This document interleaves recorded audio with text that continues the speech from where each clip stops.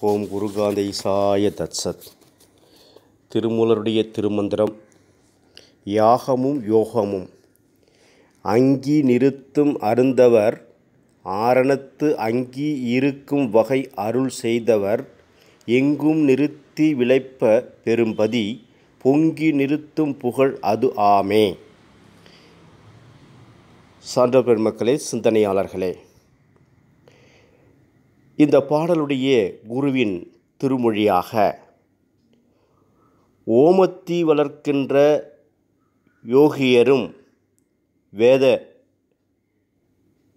விற்பனர்களும் வேதாந்திகளும்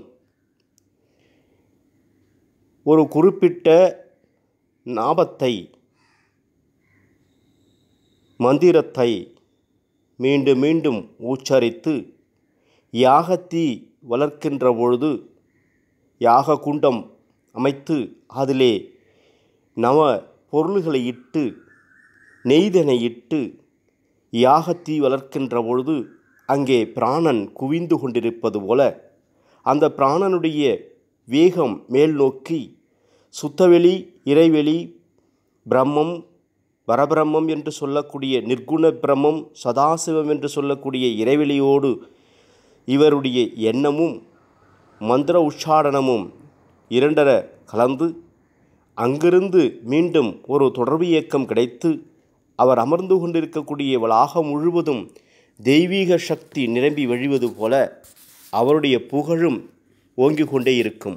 அதுபோல் ஒரு யோகியானவன் தான் அமர்ந்திருக்கின்ற இடத்திலே அமர்ந்து மூலக்கணலாகிய மூலாதாரத்திலே மனம் செலுத்தி அந்த கனலை எழுப்புகின்ற கலையை கற்றவன் கற்றதோடு மட்டுமல்லாமல் அதை சாதகமாக செய்து சாதனை புரிந்து அந்த மூலக்கணலை மேலே ஏற்றி சகசிராதாரத்திலே அதை ஒளிர்பெறச் செய்து பிரகாசம் செய்து அபானன் பிராணன் ஒன்றிணைக்கின்ற பொழுது அவனுடைய புகழ் எங்கும் ஓங்கிக் கொண்டே இருக்கும் பிரகாசித்து கொண்டும் இருக்கும். அவனுடைய உடலும் தேஜஸ் ஒளி புரிந்திய உடலாக மாறிவிடும்.